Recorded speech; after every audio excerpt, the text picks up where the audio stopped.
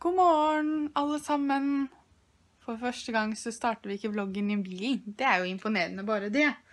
Um, vi driver nå og skal begynne å gjøre oss i stand. Guro skal en tur på jobb. Uh, jeg skal i begravelse. Og um, så skal vi til mamma i kveld. Da skal vi få filma noen videoer, og så skal vi spise middag sånn som vi pleier. Og det skal bli veldig, veldig koselig. Uh, jeg merker at jeg er litt sånn nervøs for hvordan vloggen fra i går kommer til å bli tatt imot. Ikke at jeg tror dere kommer til å være noen slemme eller noen ting, um, men det var veldig um, Hva skal man kalle det? Man blir veldig sårbar når man snakker så åpent om noe som man kanskje Altså, jeg har ikke på en måte prata så mye om det med venner og familie engang, så det er liksom på en måte eh, en litt sånn nervøs eh, feeling, men eh, som jeg sa i går, det er viktig å prate om, eh, så jeg angrer absolutt ikke på det, men, eh, og jeg har allerede fått tilbakemeldinger både på Snapchat, og jeg fikk melding av Kine, og eh, fått høre fra Maria og Mari, og det er liksom Nei, det er veldig koselig å høre fra, fra dere. Det er det. Sånn, da var jeg ferdig med de timene på jobb. Eh, jeg har bare tatt en bestilling i dag, så det gikk fint. Nå skal jeg ut på oppdrag. Jeg skal prøve å finne et vaffeljern.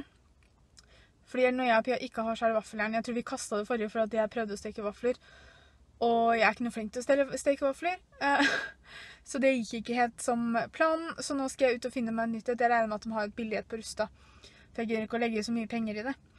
Eh, men og så må jeg huske på å dra innom posten, for jeg må sende av gårde gamle ruteren som vi hadde med Nexcantel, for det er helt glemt. Uh, så jeg fikk sånn melding i går bare 'Påminnelse, vi vil ha ruteren tilbake.' Jeg bare 'Å ja, stemmer det'. Uh, så nå må jeg bare gjøre det òg. Så litt sånn ærend sånn utpå dagen, det må vi få til. Så da av gårde til Ryggesenteret. Her er da disse shottene vi skal prøve på i dag, eller smake på. Taste test. Det er Ginger Singer. Singer? Sing. Intense pickup. Nei, det går ikke. Og så har vi en som er Beat It. Beetroot shot. Den ser jo aldeles ikke godt ut. Det er egentlig ikke noe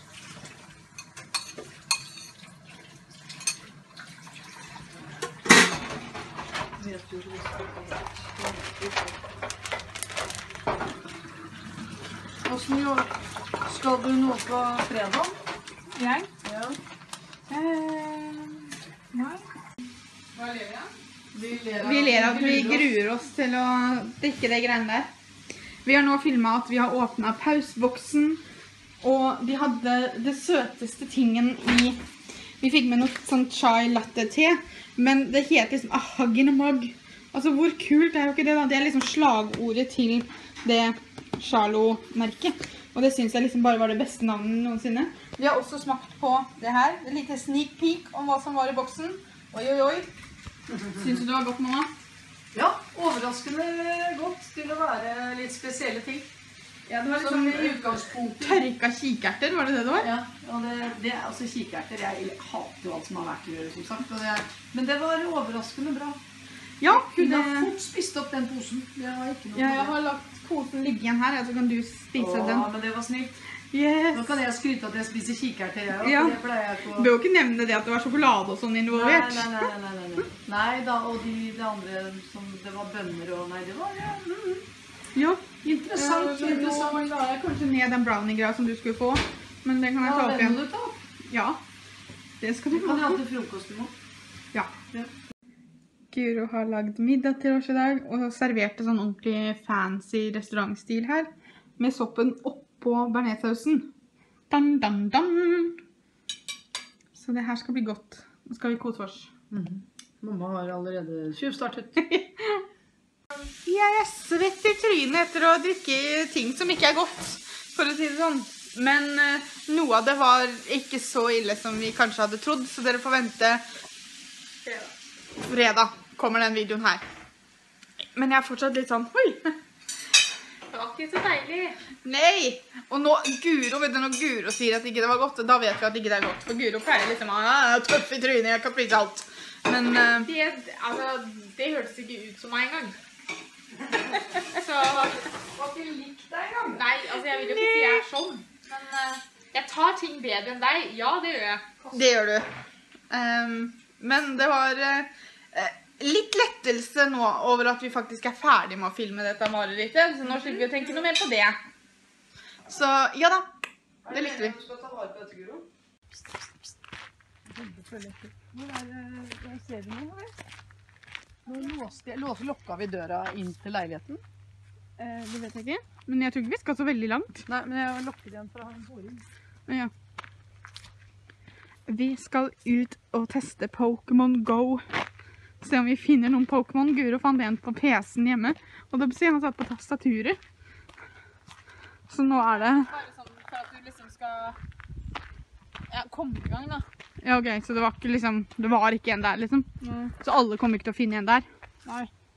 Ok. Bare litt idyllisk her mamma bor, da, eller?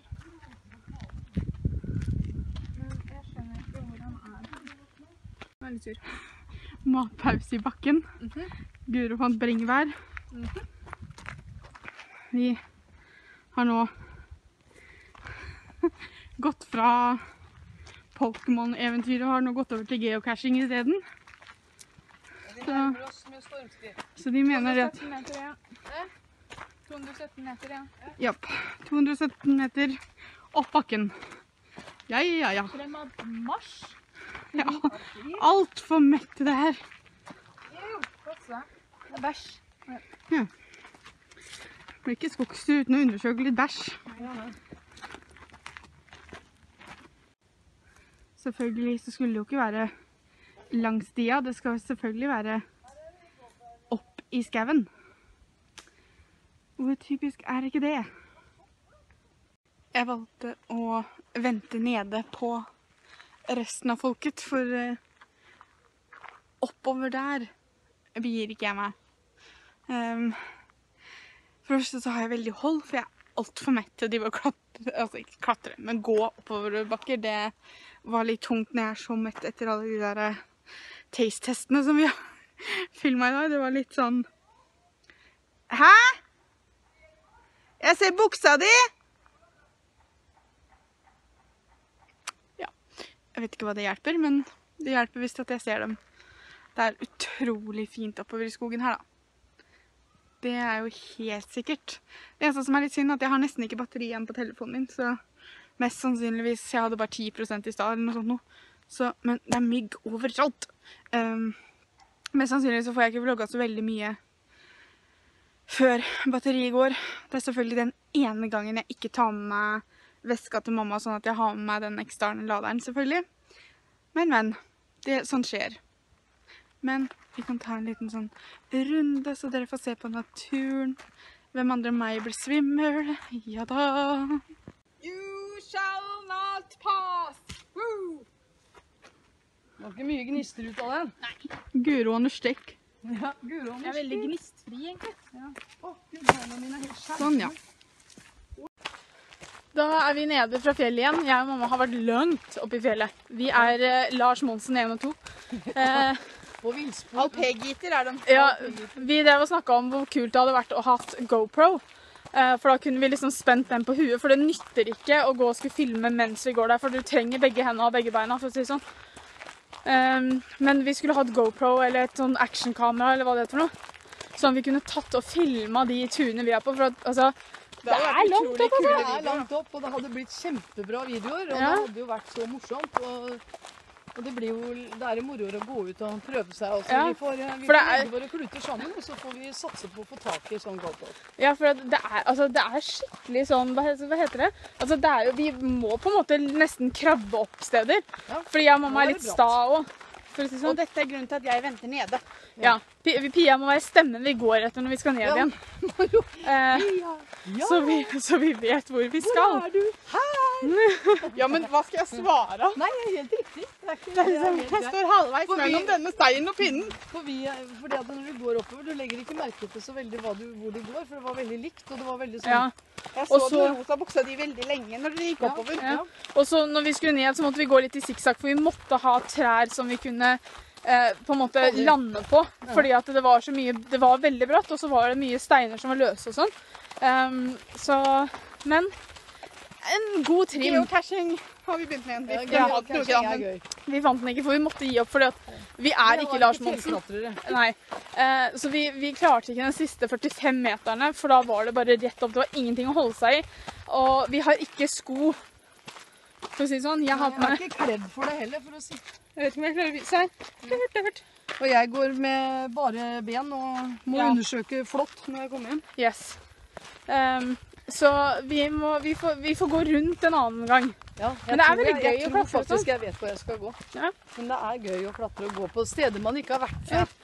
Men uh, jeg har jo da pynta meg, for å si det sånn. Eh, så neste gang så tar vi på litt mer fyrstikker. Litt mer fornuftig sko, skulle jeg si.